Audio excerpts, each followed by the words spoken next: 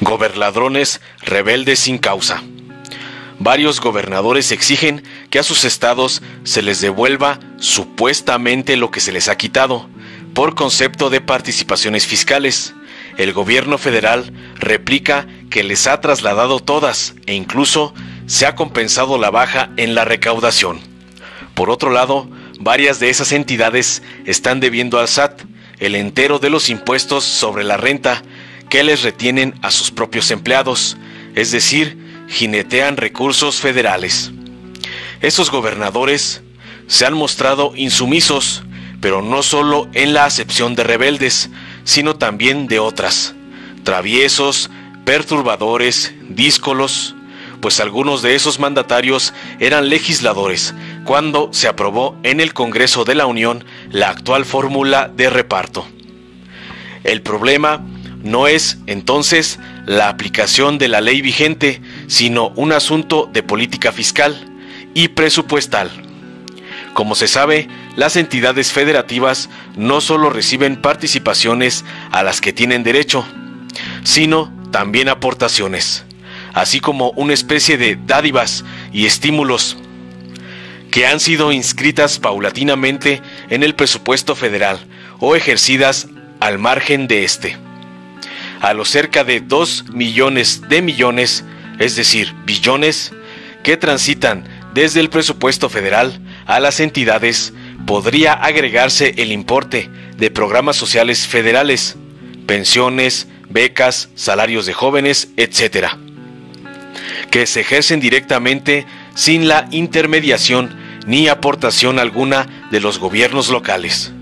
Pero los insumisos, entre comillas, no voltean a ver para ese lado. Las relaciones entre el gobierno federal y los gobiernos de las entidades se enderezaron hacia una perversa forma de transferencia a través de fondos, estímulos y convenios para ayudar a cubrir ciertos gastos. Esas ayudas no fueron siempre destinadas a su objeto, tal como lo ha documentado muchas veces la Auditoría Superior de la Federación, ASF dejó de haber en México una política de concentración de recursos en grandes tareas nacionales y regionales, por lo que se impuso una práctica de tratos y pactos políticos muy estrechos que atomizaron el gasto público. Esto es lo que defienden los gobernadores insumisos. Ahora bien, las entidades federativas son de por sí pobres, con instrumentos propios, solo recaudan el 15% de sus ingresos totales, en promedio nacional, excepto la Ciudad de México, que cubre mucho más. Esto quiere decir que, de seguir el mismo esquema, la pobreza presupuestal seguirá igual.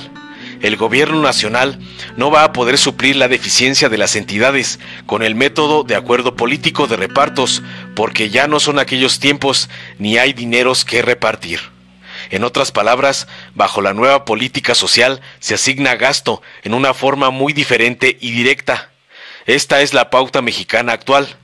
Pero hay gobernadores rebeldes que la rechazan, aunque sin decir abiertamente que debe ser del todo desechada. Los rebeldes pretenden crear una corriente de opinión contra la nueva fuerza gobernante del país, con la bandera de mayores transferencias federales, aunque sepan que eso no puede suceder. Pero de paso, sin decirlo con claridad, están buscando ciertas concesiones presupuestales o mediante convenio al viejo estilo. Dicho con grandes rasgos, a los ingresos federales propios de 5.6 billones hay que restarle 700 mil millones que se ocupan en el servicio de la deuda pública y un billón en pensiones. Las entidades se llevan en total 1.8 billones, con los restantes 2.1 billones, casi lo mismo que lo absorbido por las entidades federativas, más el déficit público, la federación debe sostener un aparato de muchas instituciones y millones de trabajadores, así como inversiones productivas, gastos directos en salud, seguridad social, educación, jubilaciones del sistema anterior, nuevas pensiones de adultos mayores e incapacitados, becas y una larga lista de otras erogaciones. Se habla de un nuevo pacto fiscal, pero por ejemplo, el IVA brinda 978 mil millones. Esto es casi lo mismo que las participaciones fiscales del conjunto de las entidades. Si se convirtiera todo el IVA en un impuesto local, se eliminarían las participaciones en general, pero todo seguiría más o menos igual. Nada cambiaría, como no fuera un mayor rezago de los estados más pobres. Así podríamos estar intentando la manera de resolver este problema con solo dar vuelta y vuelta a lo que ya se tiene para no llegar a ninguna parte. Hay que analizar posibles cosas nuevas. La opción demagógica de los rebeldes, entre comillas, es abandonar de plano el pacto fiscal. Sin embargo, no informan a sus entidades que, al no contar con participaciones federales, tendrían que cobrar sus propios impuestos, por ejemplo, a la renta y al consumo, sin que la federación dejara de recoger las contribuciones impuestas en todo el territorio nacional. Esto querría decir que los habitantes de esos estados pagarían impuestos dobles, los federales y los locales, por iguales conceptos.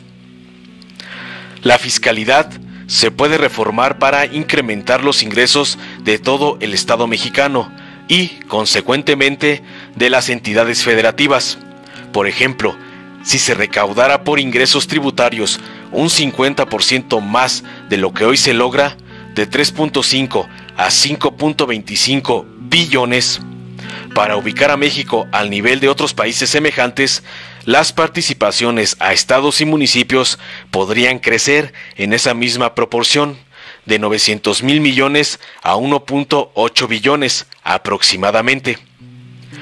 El problema actual no consiste en la forma de repartir unos ingresos federales bajos, sino en aumentarlos.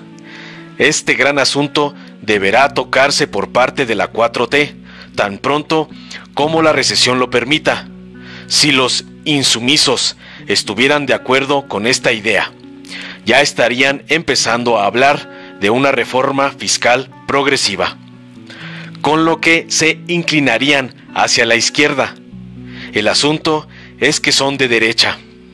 Son sumisos del conservadurismo y el neoliberalismo. Así no podría haber mejora.